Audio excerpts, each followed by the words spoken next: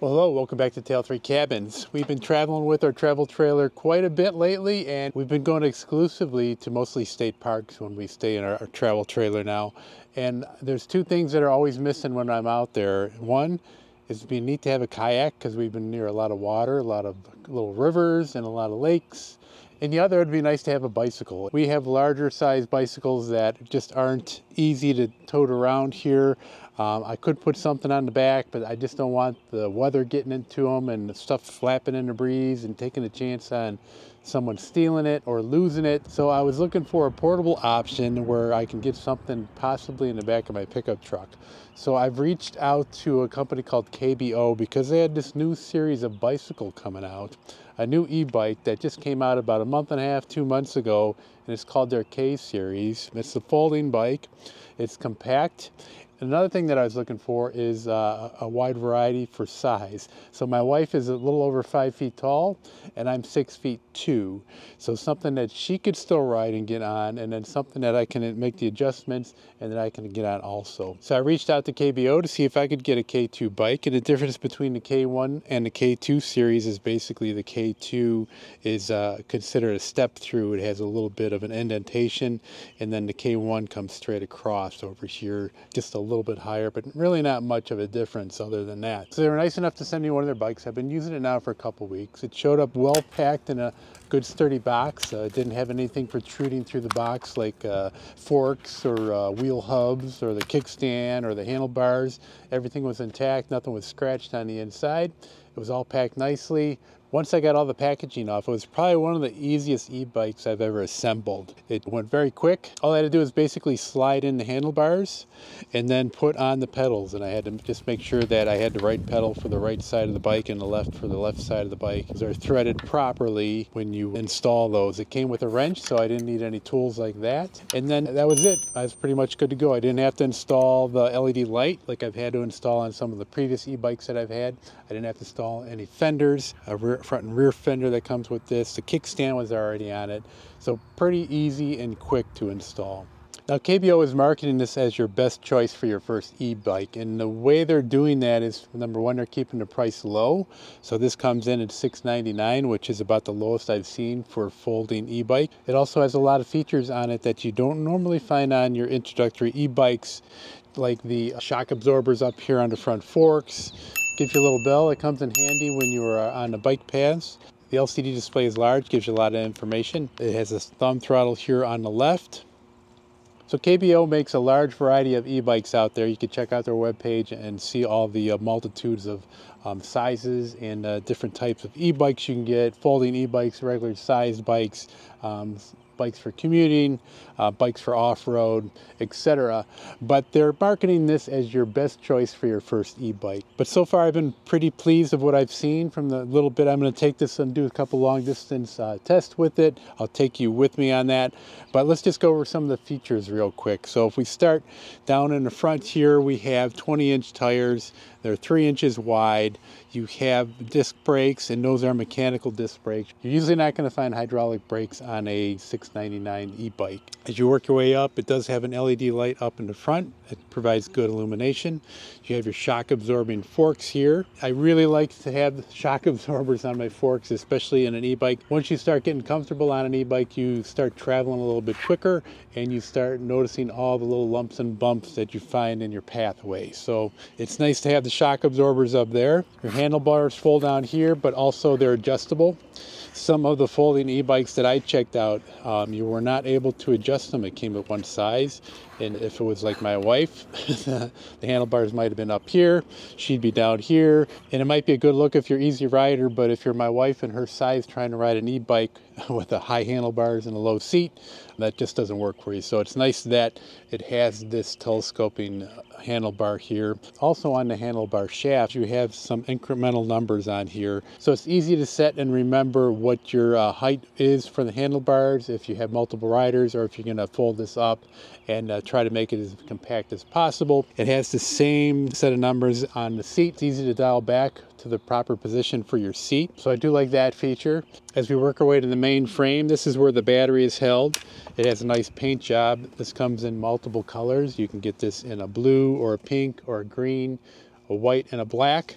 There are two screws here if you want to put a water bottle cage on there. And then this is where you would uh, unfold it and your battery is contained on the inside. The battery is held in by a key, so you have to have the key if you want to take your battery out. Uh, that way nobody can steal your battery easily. Shimano gear selector system. It's a uh, basically thumb and forefinger on, on the right side of the handlebars here. Dials through easily. Also, it comes with the fenders and it comes with a rack on the back. There is a headlight, but there is no tail light. So if you're looking to get a tail light, it, you could probably buy yourself a battery LED one and throw it in the same mounts where the tail light is here. Now, a lot of times when I assemble these e-bikes, there's usually a little adjustments that need to be made, either with the disc brakes or maybe the gear shifter. But when I assembled this, the only thing, it was just rubbing a little bit on the one disc brake and all I had to do was just back it off a little bit, tweak the adjuster on the brake assembly. It took me about five seconds and everything was good. I took it for a quick ride, nothing was rubbing. I adjusted all the gears, they snapped right into place. So that was nice because a lot of times when I get an e-bike, that's not always the case. We'll just go over a couple more tech specs of the bike. So the bike is a total of 55 pounds. If you take the battery out, it's 48 pounds. So not too terribly heavy for an e-bike. It has a 500 watt brushless geared hub motor in the back. The total payload weight is 280 pounds. Um, that also includes the rack being able to hold 55 pounds on the back of the rack here. Now the range of this bike on throttle only can go about 25 miles. If you're just using pedal assist, you can extend that up to 45 miles. The recommended rider height is from 4 foot 7 all the way up to 6 foot 3. So that fits in the category between Karen and I if either one of us want to take this on a trip and use it. So that works out perfectly for us. The battery inside is a 48 volt, 10.4 amp hours lithium battery. From completely empty, it'll recharge in four to six hours. It does come with a charger, it comes uh, with the pedals, it comes with a manual, it comes with the battery charger, and it comes with one wrench. That's all you need to assemble this. So everything you need to get this up and running. The maximum speed that this will do throttle only is 20 miles per hour. We're gonna test that out. And then same thing with pedal assist. It peaks out around 20 miles per hour. We'll check that one out also. All right, but enough about the specs. Let's take this on the road and go for a little ride. All right, we're gonna do our first speed test here. This is just gonna be the throttle only. I've got a little bit of straightaway. It's a little bit bumpy here. Got 17 miles per hour. I think I'm going on a little bit of an uh, incline right now.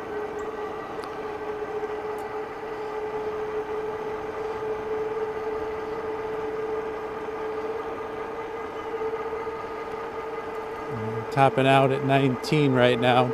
I took the bike for a quick ride yesterday in our development and I did top out at 22 and a half miles per hour. That could have a little bit of wind variable. Wind was at my back. How we're doing here, if we're going up a little bit of an incline or not. I'm going to turn around and go over the same area and uh, use throttle only in the reverse direction just to make sure I'm not going up of a hill or a little optical illusion or anything like that. I weigh about 194 pounds. This bike is good for people up to 250 pounds.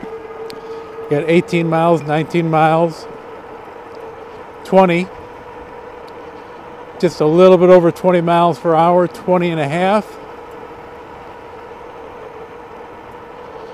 So the rating on this bike is 20 miles per hour with throttle only.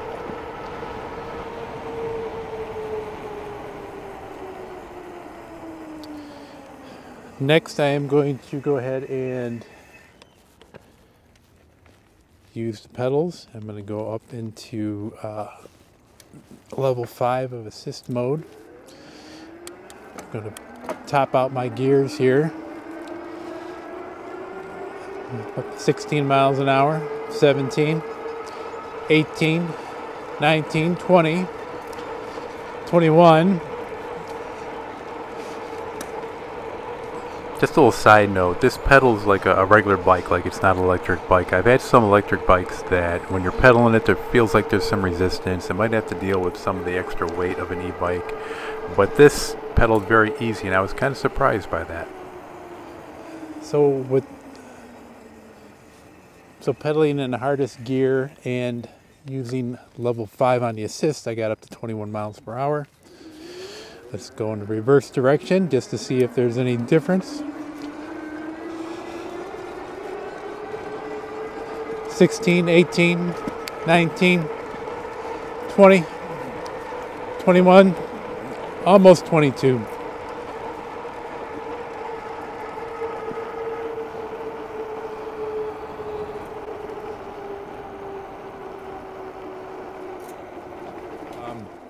If you have it in one of the assist modes, let's say even level assist number one, like I have now, and if you're starting from a stop, it does give you a little bit of the kick that you need to be prepared for at the beginning.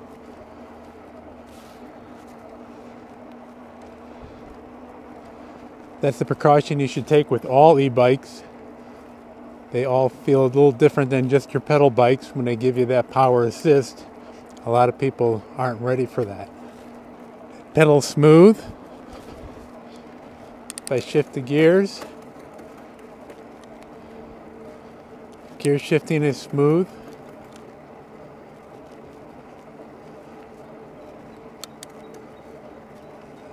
Gear four, five, six, and seven. On a flat road, six seems to be the most comfortable for me. So in pedal assist mode, they are saying that you can get a range up to 45 miles and then in just throttle only 25 miles. This is going to vary though depending on how much you weigh, if you're carrying any cargo. So someone like Karen would probably have no problem meeting that 45 miles where I might get a little less. It's springtime in northern Ohio right now and I bogged down a little bit of mud here in this field. Anyone who's been stuck in the mud in Alabama knows you step on the gas, one tire spins, the other tire does nothing. Right.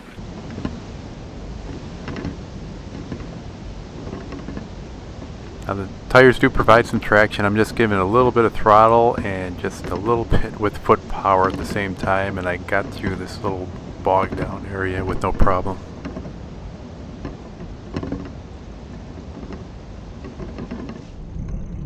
So all in all, when I do these reviews, you are trying to find something negative to say about this product. And really, I can't. For the price of what you're paying and the quality of the bike, it's a pretty decent deal.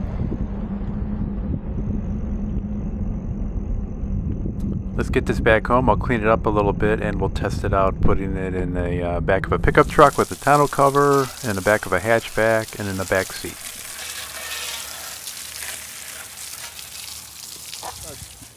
All right, let's talk about transporting. Um, I have the bike all folded up here. They are cumbersome to move around if you're not securing them. When they're in this position, you pick it up, you know, it's going to want to flap around a little bit. All folding bikes are like that. But I would recommend taking the, like this is just one end of a ratchet strap. It's got the little um, circle there that you can tie into. But I, I'm not even going to go around the wheel with the spokes if you're worried about messing up your spokes. So I'm just coming around the forks here. I'm going to use the bike rack on the back, the rack on the back tire. And then I'm just going to complete my loop and use that to hold these two parts together. So when I'm picking it up and moving around, I can grab it here by the ratchet strap. And then if I want to grab it from the other end, it's easy to pick up and move around. Put up on the truck. Find straps that actually have two loops on each end, which might be a little bit helpful if you find like a around four foot one because that way you just loop it through one of the loops and then you have a loop that you could use to grasp onto.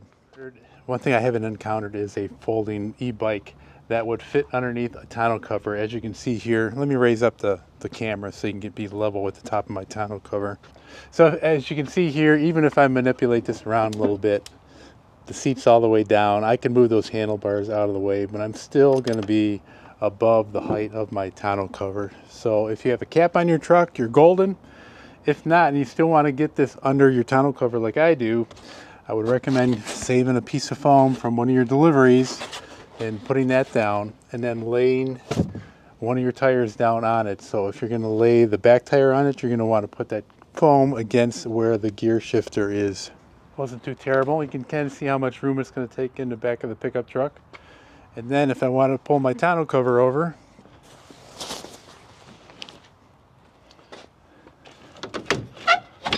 It's going to fit in there and stay out of the weather.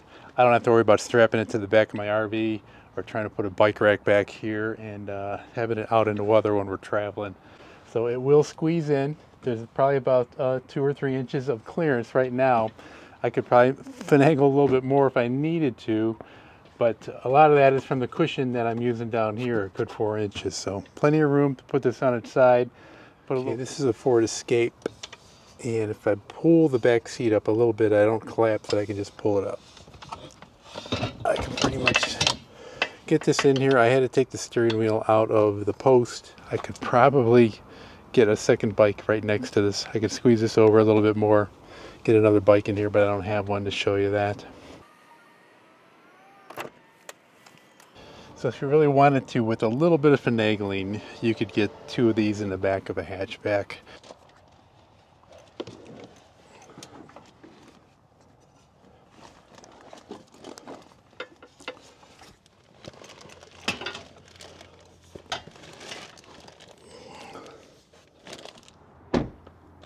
So it will fit in the back seat of a vehicle if you have a four-door. Alright, I will show you here once you get to your destination just how long it takes to assemble this thing and be able to go for your ride. I'll probably be doing just a little follow-up video, maybe incorporated in one of my other videos just on uh, using it after a couple weeks and also I'm going to try to run the battery out just on the throttle only, see how far I can get. We have a short little RV trip planned so this will be nice to take it with us. Just got to unfold the pedals and it'll be ready to go. If you're thinking about getting your first e-bike or you want something to take traveling either in an RV or in a boat, this kind of suits those needs and it's not going to break the bank. I appreciate everybody watching. Hope you enjoy and subscribe these videos. Click on that little bell when you want to know when a new one is coming out. And keep an eye on us. Take care everybody.